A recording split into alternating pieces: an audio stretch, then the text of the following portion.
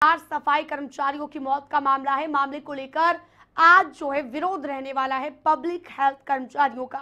हत्या के विरोध में भी ये कर्मचारियों का विरोध रहेगा और आज से जो है कर्मचारी धरना देंगे। विभाग के कर्मचारियों पर जो मामले दर्ज हुए हैं, उन मुकदमों को भी वापस लेने की मांग उनकी ओर से की जाएगी। तो चार सफ़ाई कर्मचारियों की मौत का ये मामला है और मामले को लेकर जो है हत्या के विरोध में अब पब्लिक हेल्थ कर्मचारी आज प्रदर्शन करेंगे, धरना देंगे। आपको बता दें, आज से कर्मचारियों का ये धरना रहने वाला है। और साथ ही आपको ये भी बता दें कि विभाग के कर्मचारियों पर मामला दर्ज होने का विरोध किया जा रहा है। और जो मुकदमे दर्ज किए गए हैं कर्मचारियों पर, उन्हें भी वापस लिया जाए इस तरीके की मांग उठाई जा रही है।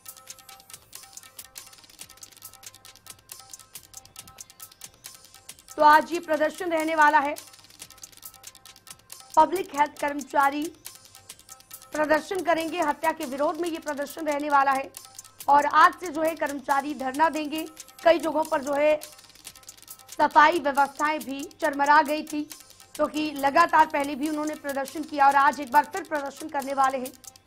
जो मुकदमे दर्ज किए गए हैं कर्मचारियों पर वो मुकदमे भी वापस लेने की मांग उनकी ओर से की जा रही है और दूसरी मांग ये भी है कि हत्या का विरोध वो कर रहे हैं। कड़ी कार्रवाई की जाए अगर हत्या की गई है।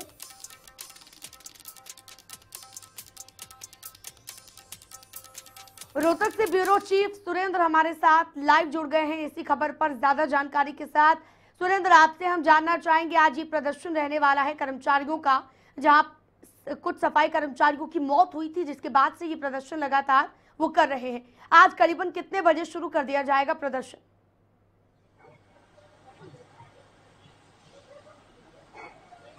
जी, देखिए 25 जून को जो डिस्पो जो पब्लिक हेल्थ का डिस्पोजल की जो सफ़ाई करते हुए चार जो सफ़ाई कर्मचारियों की मौत हुई थी, उस मामले में जिला उपायुक्त आर एस वर्मा ने जो लापरवाही को देखते हुए चार, पाँच लोगों के खिलाफ जो जन स्वास्थ्य के अधिकारी थे, उनके खिलाफ मामला दर्ज किया था और इस मामले में 304 तक जो आईपीसी है, उसके तहत मामला दर्ज किया था। उनका कहना था कि जिस तरह से लापरवाही हुई है और जो कर्मचारी की मौतें हुई है, उसमें जो कर्मचारी जो जो दोषी पाए जाएँगे जाएँगे, उनके खिलाफ सख्त कार्रवाई हो जाएगी।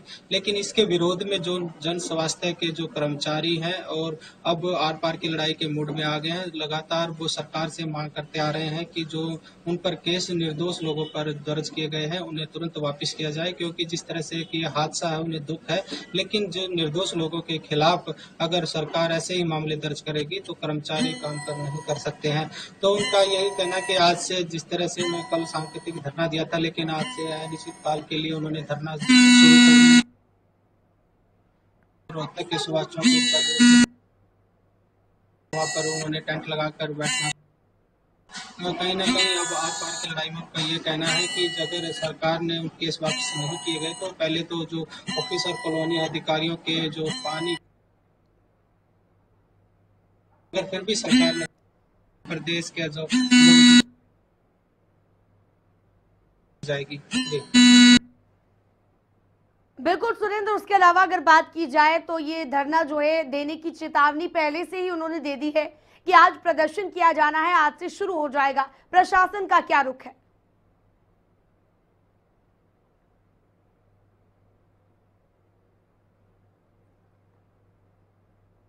तो लगता है सुरेंद्र से संपर्क नहीं हो पा रहा है। दोबारा हम जुड़ेंगे उनके साथ। चार सफ़ाई कर्मचारियों की मौत का ये मामला है और मामले को लेकर जो है आज कर्मचारी धरना देंगे। साथ ही आपको बता दें कि चार सफ़ाई कर्मचारियों की मौत का ये मामला है और इसी मामले को लेकर आज ये प्रदर्शन रहने वाला है। आज से कर्मचारी धरना देंगे और चार सफ़ाई कर्मचारियों की मौत का मामला है। आपको बता दें कि आज ये प्रदर्शन रहने वाला है। और साथ ही आपको ये भी बता दें कि इनकी मांग जो है, जो मुकदमे कर्मचारियों पर दर्ज किए गए, उन मुकदमों को वापस लिया जाए, ये तमाम मांगे इनकी है। एक बार फिर से जुड़ गए हैं हमारे साथ रोहतक से ब्यूरो चीफ सुरेंद्र सिंह। सुरेंद्र, आज ये धरना रहने वाला है, इसकी चेतावनी पहले से प्रशासन को दे दी गई है। प्रशासन का क्या रुख नज़र आने वाला है इस धरने पर?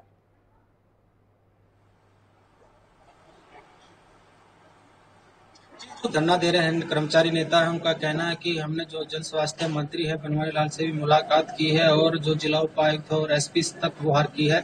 लेकिन जिस तरह से सरकार अड़ियल और रवैया अपनाए हुए है तो उसके खिलाफ कर्मचारी जो धरना देने पर विवश हो गए हैं और उन्होंने पहले ही चेतावनी दी हुई है, सरकार को नोटिस दिया हुआ है। अगर सरकार ने उनकी मांगे जो